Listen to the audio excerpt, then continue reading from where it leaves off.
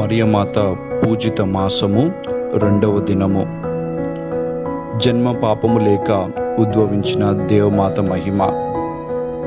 అద్భుతము. పూర్వము నుండి దేవమాత అనేక ప్రదేశములందు అనేక పర్యాయములు తన భక్తులకు దర్శనమిచ్చినట్లు మనము వినుచున్నాము.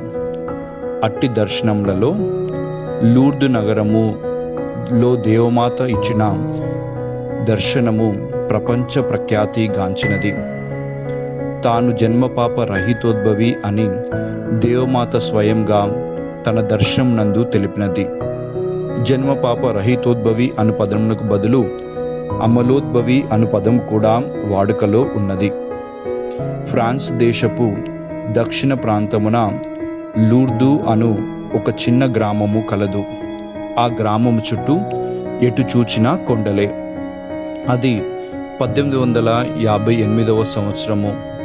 ఒకనాడు కొందరు బాలికలు కట్టెలకై సమీపపు కొండకు పోయిరి. ఆ బాలికలలో ఒక బాలిక పేరు బెర్నదత్తమ్మ. బెర్నదత్తు తల్లిదండ్రులు కడు పేదవారు. ఆ బాలిక తక్కిన బాలికలకు కొంచెము దూరమై ఒంటరిగా కట్టెలు ఏరుచుండెను.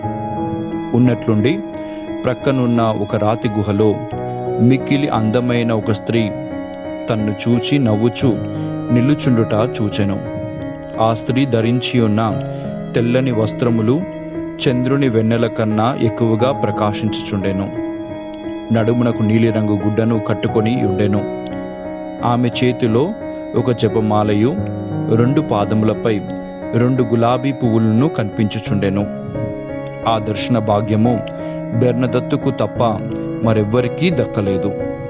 బెర్నదత్తు ఆశ్చర్యంతో ఆ స్త్రీని చూచి ఆమె ఎవరో ఊహించుకొనలేక భయ సంభ్రములతో నేరుగా ఇంటికి పరిగెత్తుకొని పోయాను. దెయ్యమేదో తన వెంట పడుచున్నదని భావించి బెర్నదత్తు మరుసటి రోజు కట్టెలకు పోవునప్పుడు గురువు మంత్రించిన తీర్థ జలములను వెంట తీసుకొని పోయాను. మరలా అదే గుహ ఎందు అదే స్త్రీ బెర్నదత్తుకు దర్శనమిచ్చినది. వెంటనే బెర్నదత్తు తీత జలములను తీసుకొని ఆ స్త్రీపై చల్లి దెయ్యమైనచో పారిపోవును కదా అని చూచుచుండెను. కానీ కనిపించిన ఆ స్త్రీ మాయము కాలేదు. ఇంకనూ ఎక్కువ ప్రేమతో నవ్వుచూ బెర్నదత్తును చూచి బాలా నీవు ఇంకా రెండు వారముల వరకు ప్రతి దినము ఇచ్చటికి రమ్ము అని చెప్పి అదృశ్యమాయను. బెర్నదత్తు గంతులు వేయిచు ఇంటికి వెళ్ళి జరిగినదంతయు గ్రామస్తులకు తెలిపినది. మరుసటి దినము నుండి ప్రజలు అనేకులు ఈ వింతను చూడబోయిరి. రెండు వారములు గడిచినవి. కానీ బెర్నదత్తుకు తప్ప మరెవ్వరికీ ఆ గుహలోని స్త్రీ దర్శనము కానరాలేదు. ఆమె స్వరము కూడా వినబడలేదు. కానీ దర్శనమిచ్చిన స్త్రీ కన్య మరియమ్మయే అని ప్రజలు దృఢముగా అనుకునేది ఈ దర్శనములలో ఆ స్త్రీ బెర్నదత్తమ్మతో చాలా విషయములను చెప్పినది. బాల నీవు పాపుల కొరకు ప్రార్థింపవలేను తపోక్రియలను చేయవలేను. ఈ గుహ పక్కనే నా పేరిట ఒక గుడి కట్టించవలేనని మీ గురువునకు చెప్పవలేను. ప్రజలందరూ వచ్చి ఉత్సవం కొనియాడవలేను అని తెలిపినది. ఇంకొక విషయం ఏమనా? ఆ స్త్రీ బెన్నదత్తమ్మకు చెప్పినట్లు ఆ బాలిక నేలకు వంగి తన వేళ్ళతో మట్టి తీసి గుంట చేయగా ఆ గుంట నుండి మంచినీరు ఉబికి చిత్రముగా పైకి చిమ్మెను. బెన్నదత్తమ్మ ఆనంద పరవశురాలై ఇంటికి వెళ్ళి జరిగిన వృత్తాంతమంతయు గురువునకు ఊసగుచ్చినట్టు వల్లించెను. కానీ ఆ గురువు అంత తేలికగా బెన్నదత్తును నమ్మలేదు. దర్శనమిచ్చినది మరియ మాతయ్యై ఉండునని గ్రామస్తులు భావించిరి. కానీ ఆ స్త్రీ తన పేరైనా చెప్పనందున గురువు నమ్మలేదు. ఒకనాడు బెర్నదత్తు ధైర్యము చేసి అమ్మా నీ దర్శన భాగ్యము నాకు మహా ఆనందము ఇచ్చుచున్నది. అయినా నీ పేరైనా తెలియనందున చాలా బాధగా ఉన్నది.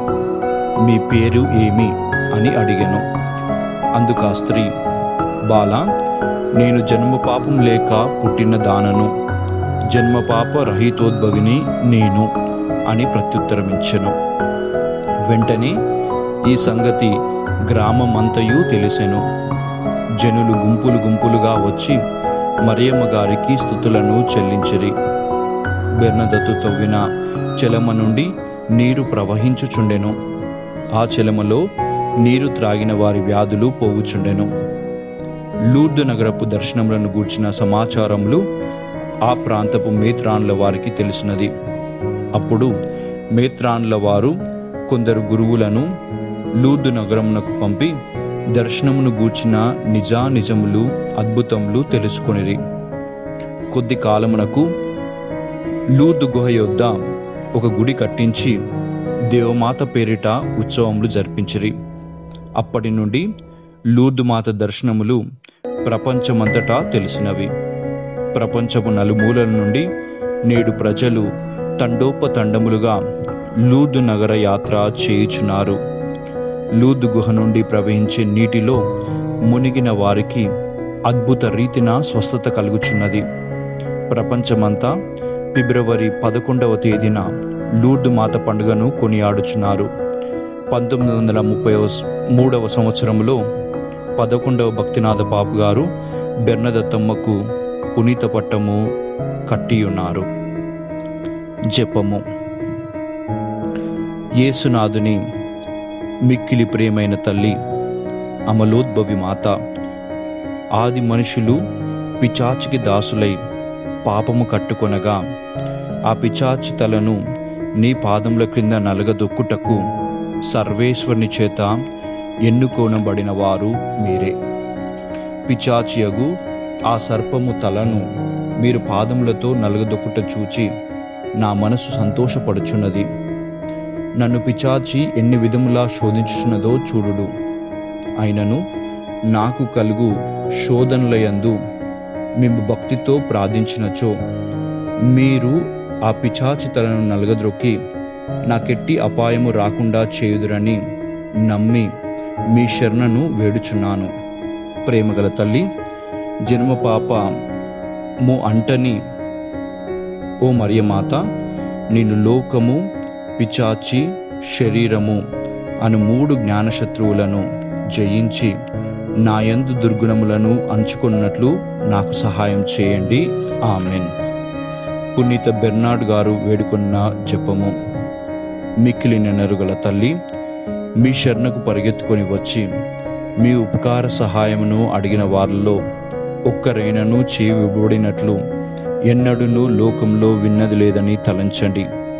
కన్యకల రాజ్ని దయారసం గల తల్లి ఇటువంటి నమ్మిక చేత ప్రేరేపింపబడి మీ పవిత్ర పాదములను సమీపించి వచ్చుచున్నాను. నిటూర్పు విడిచి ప్రలాపించెడు పాపి అయిన నేను మీ దయకు కాచుకొని మీ సముఖంలో నిల్చుచున్నాను. మనుషవతారమెత్తిన పుత్రుడైన సర్వేశ్వని తల్లి నా విజ్ఞాపంను త్యజింపక దయతో విన్నవదరించండి ఆమెన్. జనం పాపం లేక ఉద్భవించిన పరిశుద్ధ కన్య మరియమ్మ పాపులకు శరణమ్మ ఇదిగో పరిగెత్తు వచ్చి మీ శరణించుచితమే మా మీద దయగా ఉండండి మా కొరకు మీ దివ్య కుమారుని వేడుకొనండి. ప్రభు మీతో ఉండునుగాక మీ ఆత్మతోనూ ఉండునుగాక సర్వశక్తి గల సర్వేశ్వరుడు పిత పుత్ర పవిత్రాత్మ మిమ్మందరినీ ఆశీర్వదించి దీవించి కాచి కాపాడుదురుగాక ఆమెన్.